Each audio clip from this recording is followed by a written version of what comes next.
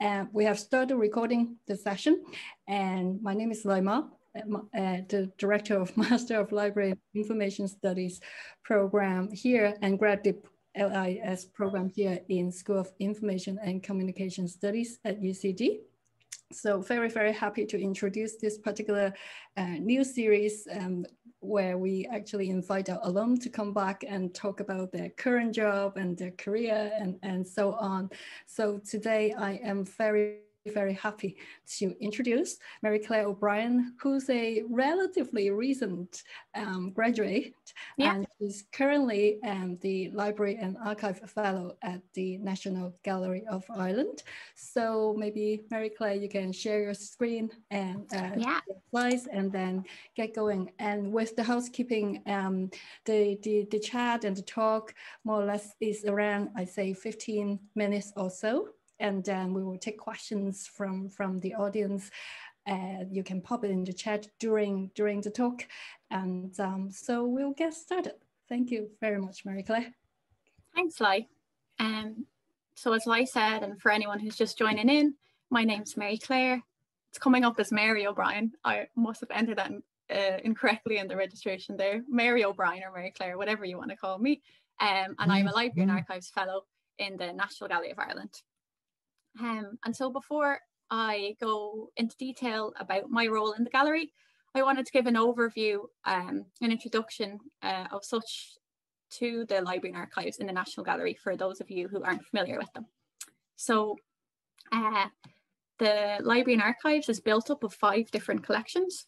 We have the art library, which has both uh, modern and rare uh, collections in it. Uh, so books, journals, auction catalogues, exhibition catalogues, those types of materials. And it has a focus on European um, and uh, further afield regions as well as Europe. Mm-hmm. The ESB, Centre for the Study of Irish Art, then, as you can probably tell from the title, uh, focuses solely on Irish art.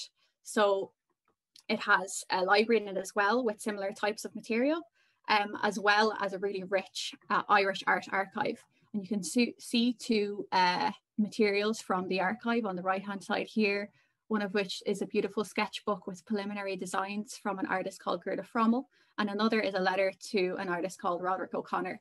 So you can see uh, from these very brief examples how our library and archives can support the research uh, about the works in our permanent collection, either on the wall or part of the collection behind the scenes. The Sir Denis Mahon Library and Archive then is a collection of uh, library and archive materials that were donated by Sir Denis Mahon, who was a collector and scholar um, specifically relating to Italian Baroque art. Um, and so again, this is a really helpful collection to understand that period, to understand the works he collected, some of which he donated to the gallery. Um, and it's just a really outside of artwork, it's interesting collection because his personal belongings uh, in this archive, as well as his research papers, give a snapshot into a hundred years of his life. He was uh, alive. He was born in 1910 and lived all the way up to 2010. So we have him going through two world wars. We have a gas mask, for example, in this collection. We have his mother's beautiful feather peacock hats. There's all sorts of unusual things in this collection that you wouldn't expect. Um, so a really fabulous collection and um, beautiful uh, rare book collection in this of really seminal art history works, uh, such as uh, early editions of Vasari. The, the Yeats Archive then is a collection of material belonging to the visual artists in the Yeats family, as well as Jack Butler Yeats, who you may have heard of. Uh, this collection also includes his father's preliminary drawings and correspondence, who was called John Butler Yeats, his sisters Elizabeth and Susan, and his niece, artist and designer Anne Yeats, uh, who we also have work uh, belonging to. We also have paintings uh, belonging to her in our main collection. And then finally, we have the institutional archive, which is the archive relating to the gallery itself. Uh, so this is a really great uh, resource for understanding the development of the gallery from the 1850s all the way up to present day. So understanding decisions made, understanding the buildings, we have building plans, uh, minute books, unusual items again, such as the gallery seal.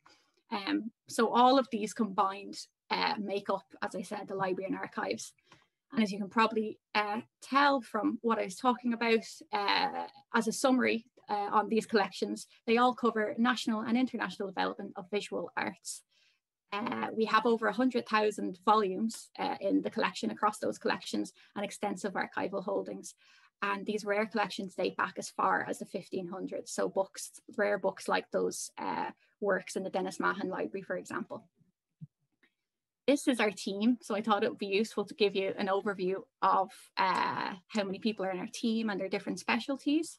I've kind of split the team up into four groups but we really just work uh, across all of the collections with each other with, as well as having our own specialties. So we have our own areas, but it's really like cross pollinated as well.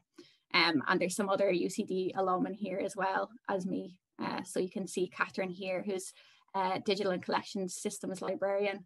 Um, an archivist here, uh, Claire Doohan is fantastic. Uh, she graduated from the archive course. Uh, so and other librarians in here that would have uh, done the UCD MLIS as well. The H.W. Wilson Foundation Fellowship is the official title for my role.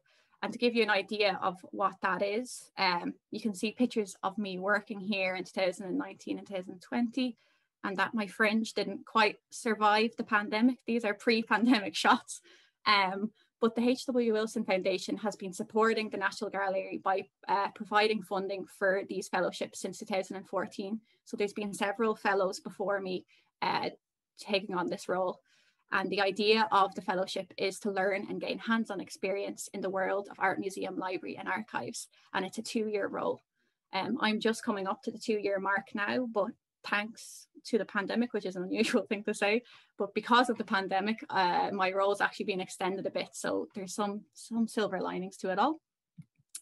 And so before the National Gallery, I uh, wanted to give you an idea of the kind of roles that I had uh, before then.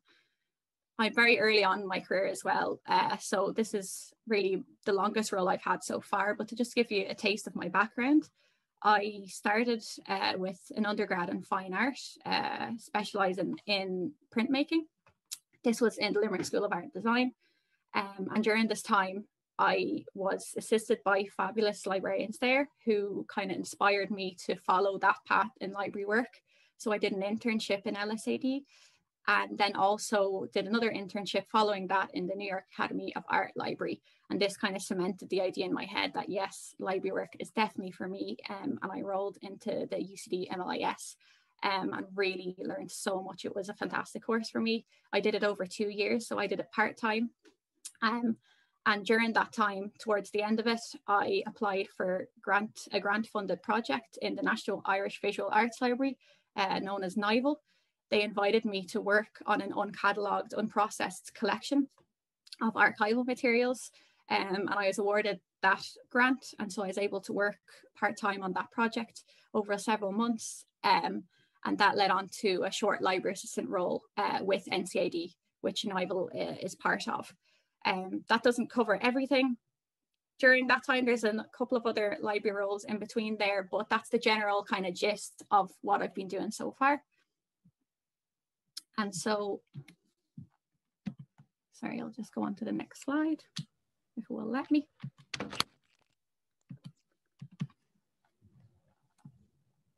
It's just crashing a little bit for me, sorry.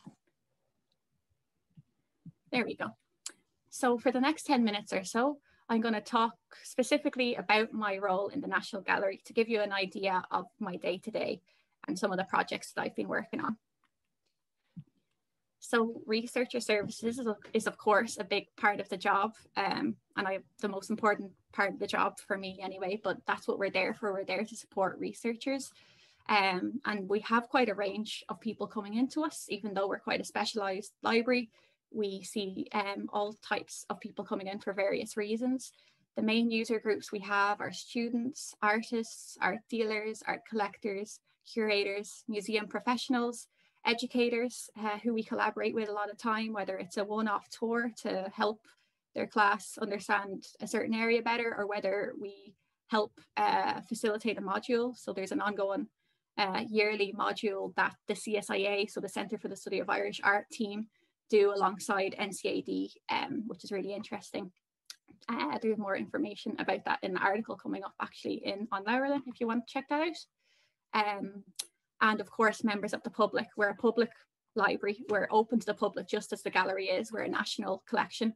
We're part of the national collection. So anyone is welcome to uh, come to the reading rooms when they're open or contact us for research when they're not. Um, so as I was saying, we usually have people into the reading rooms. We have several different ones for uh, consultations.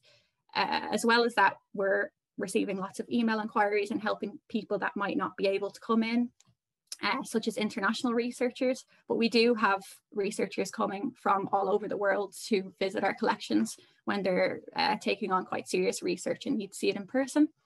And then lately, uh, the past six months or even more than that now at this stage, we've been doing Zoom consultations or virtual reading rooms is what we like to call them.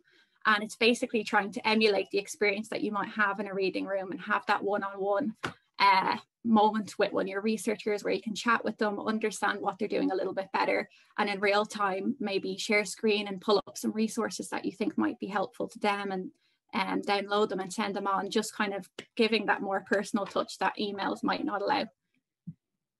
Outreach and promotion then is a huge part of uh, my job as well. I'd say I spend about as much time on this as I do speaking with researchers and helping them. Um, we give lots of talks and tours and workshops to uh, let people know about our collections to really get the word out there and to show them to people who might not be the academics coming down to the reading room. We really want to share it with the public, uh, all types of people from the public as well. Um, social media is kind of ties in with this too. We're really just trying to promote the collection and get the word out there and uh, keep up to date with people's interests in terms of the collection and get feedback about what people are interested in. And then uh, in terms of staff as well, I do target displays and emails for staff something I didn't mention actually before in terms of researchers. We facilitate research with external curators and external museum professionals, but a really important group for us is our own uh, staff, is the own gallery staff. Um, so we facilitate the development of uh, exhibitions, research that goes alongside those, education programs and so on. So any research that's needed, we're there to support that and to offer um, suggestions for research materials and so on. So to kind of tie in with this, uh, one of my responsibilities is to promote uh, materials to staff, whether it be a curator or someone in the education team or conservation team. I try and put them in touch with uh, journals or certain articles that I think might be of interest to them. Even a recent email I sent out to a bunch of staff uh, was uh, related to an Italian art journal, an Italian language art journal that we recently got a subscription to. So I let all the Italian speaking staff know about this. So really, really curated emails going out just to encourage uh, staff's continued use of our collections. And uh, through email is the way, and through talks and tours is the way uh, we're doing it at the moment during the pandemic, but before that we would have on-site talks and tours specifically for staff as well as displays and I might put posters up around the gallery and that kind of thing in the staff spaces to encourage them to come down. You'll see a couple of those in a minute. So these are our stats just to give you an idea of on the whole uh, post-pandemic or pre-pandemic, during pandemic, uh, on-site, online uh, element of our talks and tours and how they translated from one to another. Uh, we began uh, hot and heavy in January and February 2020, uh, putting on lots of on-site talks and tours. And we regrouped a bit and figured out how to translate some of these programs and some of these talk series on in an online context.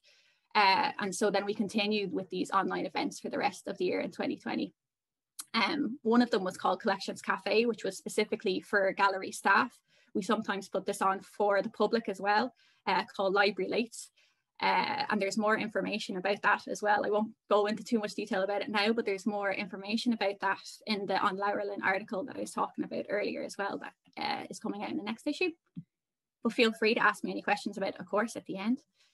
Um, and this is just a little taste of the type of social media uh, output that we uh, post on the main pages of the gallery platforms. So we don't have a separate page for the library and archives, but rather uh, we create material and send it on to our digital media team who post it on the main uh, gallery, Instagram, Twitter, and Facebook.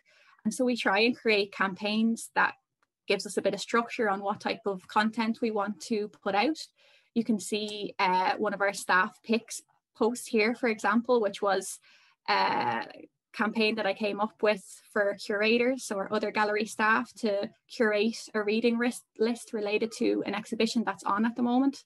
Um, so we take a couple of pictures of them and the books and so on and publish that reading list. And so our researchers or the public could see what books uh, the curator used to research the exhibition or that the curator recommends for further research for your own interest about the exhibition. We also have behind the scenes campaign, which uh, I could really just do a whole talk about social media actually Lai if you ever need that because I could go on about this forever. I'll try not to spend too much time on it because there's lots to cover. But behind very briefly, behind the scenes was promoting projects that staff were working on to kind of give people insight into what we're doing. Object of a day, object of the day campaign was great when we moved uh, working from home because the staff picks and behind the scenes were very staff based. So the object of the day campaign was basically posting images of particular items within the collection to highlight them, maybe some hidden ones that people didn't know about. Um, and this way we could use pre-digitized materials to uh, continue campaigns even though we weren't on site. And as well as campaigns, we post seasonal posts, so like Halloween, Christmas themed, or special events like Heritage Week, Culture Night, National Days, and promotional posts as well. These are all indirectly promotional, of course, for us, but uh, directly promoting talks by the library, exhibitions by the library and archives, and so on.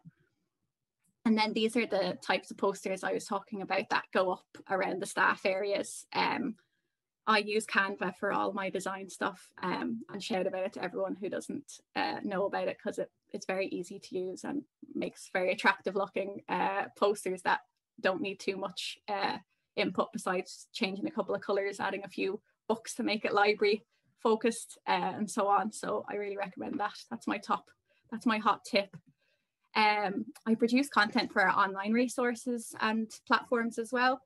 So uh, for the library and archive pages of the gallery website, for our own library and archives resource or uh, library and archives website, which is basically just an additional website with further information about online resources and uh, subject guides and uh, ones online resources that we subscribe to, but also that we use that are free online that we recommend. It was basically an additional tool that we developed over uh, the pandemic to be able to point people very easily in the right direction to certain things without having use of on-site materials.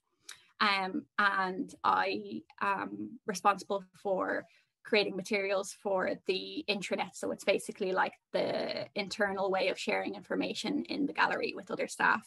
Again, I was talking about how I want to promote the library and archives to the staff and uh, continue their use with all the great resources we have. So this intranet is uh, a kind of project that's in development, but hopefully will help do that too. Um, I help with training and information literacy as well. So we have loads of different online resources uh, relating to art history research that we subscribe to. And because we have so many and they're all in different places rather than a neat kind of one search function, we don't have. So we give online resource demos to show people how to use them and search tips and research tips as well. We used to do them in person, now through Zoom, like every other slide I'm telling you about. Um, but this actually, funny enough, works, I think, even better through Zoom than in person with the online resource now, not with all of our other types of uh, informational talks. But for online resources, I'm just showing them a screen in a room anyway, or a lecture theatre anyway. And uh, sometimes they're kind of leaning over people to try and see the screen. So it's actually better just to have a live uh, share and show them uh, searches that way anyway. So that's actually been a good way to do that over the pandemic. Um, and then we create library resource guides as well. So PDFs and are developing a kind of video series uh, of guides as well at the moment. I'm involved in this great uh, project called Source as well, which is basically a project to make the Irish art archives that I was talking about a little bit earlier really available uh, to people publicly online. And so this involves uh, cataloguing uh, collections that haven't been catalogued, digitizing collections and making that all that great information available on an online platform. And so my involvement in this project is digitizing this material. So you can see this beautiful scanner on the right hand side here uh, with the sketchbook that I was talking about earlier that uh, belonged to Gerda Frommel, that was created by Gerda Frommel. And another UCD alum, uh, Alicia, who is a fantastic archivist, uh, who did the archive school as well, is, was working on this project with us previously um, and is doing some scanning here. So this involves scanning this project on my end of things, but also applying metadata to those images is something that we'll be doing soon. And we have a workflow with about 25 steps on a spreadsheet that lots of different staff are part of uh, that we all enter uh, data into to make sure everyone knows where we are because we're all working in tandem on these different steps. So that's a big part of the job as well. Um, and speaking of data entry, reports and admin are a big part of the role as well.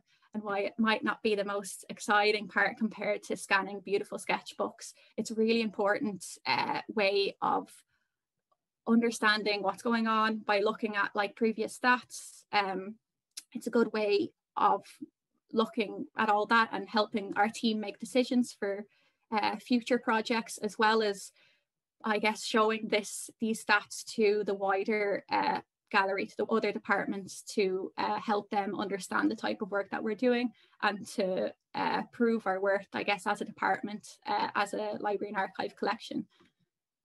So I've learned a lot uh, so far uh, in the two years that I've been there.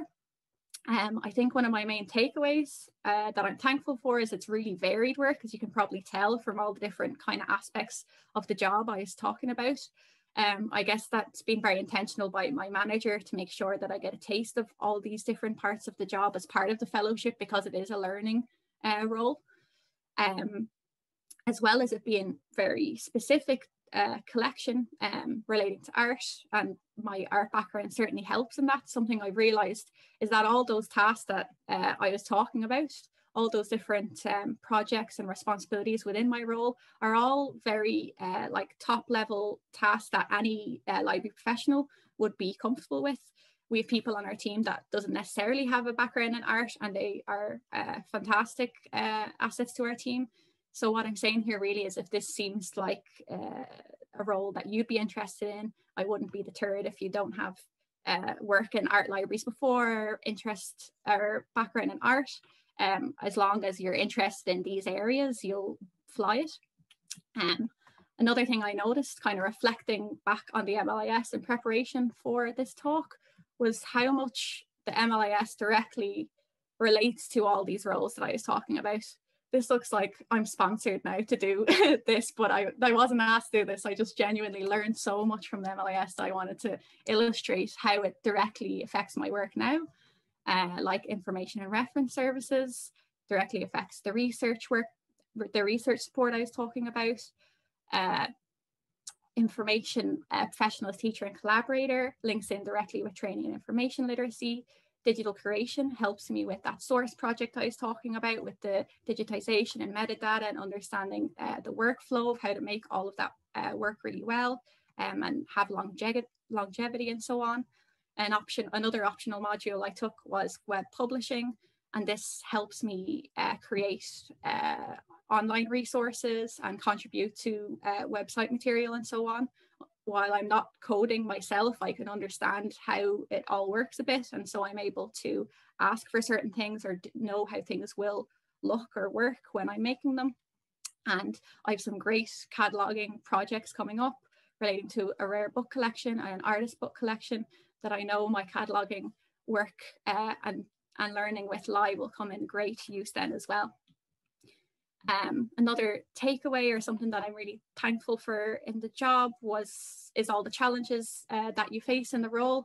And one of them, I guess, is adapting to the all adapting all those projects to working on site, to working from home, and for everyone else to be at home. And how do I keep helping researchers, or how do all the team keep providing great resources for researchers? So I kind of covered that the whole way through, but um, it's a really satisfying part of the job. There's definitely drawbacks, but uh, to be able to still provide um, assistance to people and figuring out ways to work around this is has been really uh, enjoyable actually.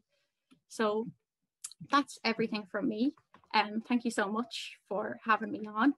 I have my contact details there if you ever want to email me about anything, if you have any questions that you didn't think of today that you want to ask. But of course, I'm happy to answer any questions you have now also. Hi. Thank you so much, Mary Clare. That's fantastic. So I'll just see if anyone has questions there. Uh, let's see. All right, so is there more information about the digitization project on the gallery website? I suppose it's a very generic question there in the chat. So uh, anyone that's who... A, that's a great question, actually. Yeah, yeah. There, it's a project that hasn't been launched yet.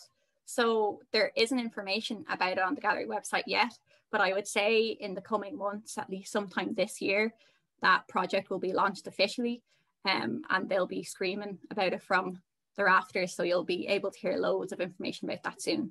Um, and I'd be very happy to have a follow-up talk even about that project specifically in the future.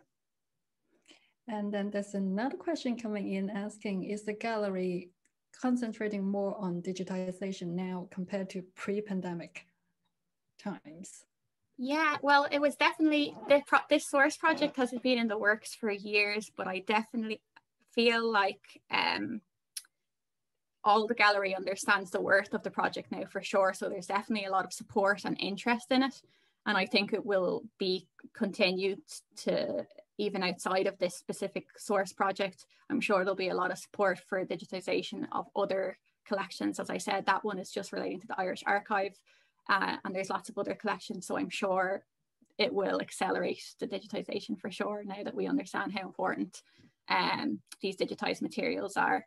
A lot of the time, I'm sending, um, you know, we're not able to put researchers in connection with materials, but when they are digitized, it has been really helpful to send copies of those on to researchers as well as we work with tour guides a lot as part of that staff group.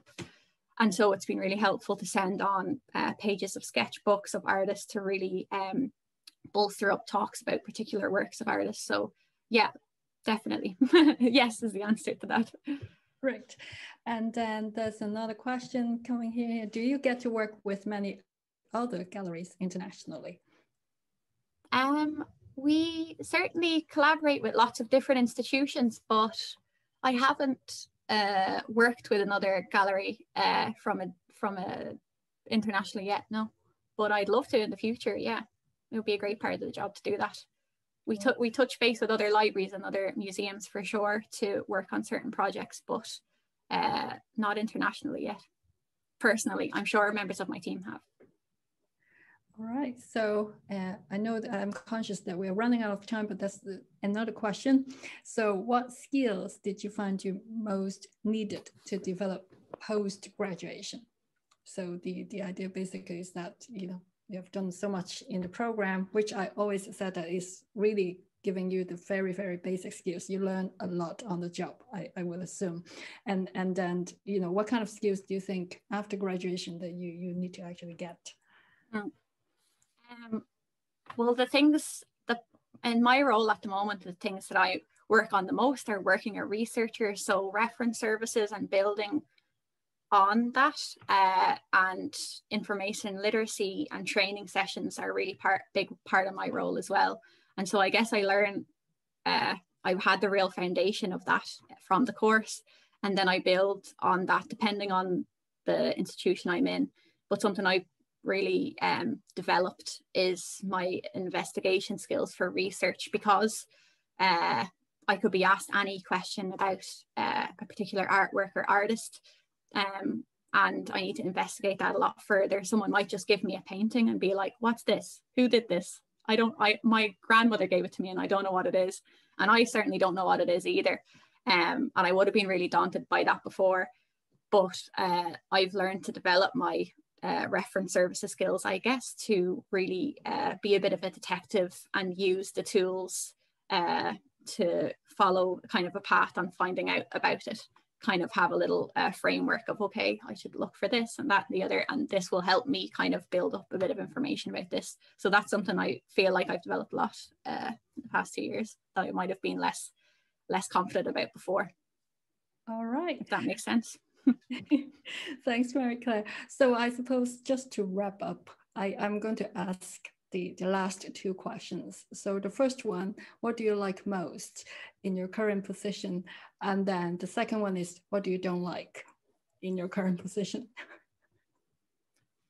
I like, I kind of, I'm probably repeating myself a little bit, but definitely what I like the most is uh, working with researchers because my job is quite varied and I, I think I, I definitely like being able to go away from the reading room desk and do a bit of uh, more desk work um, and so on. I like how varied it is, but the bit I get the most job satisfaction about is working um, and assisting researchers with whatever project they're working on.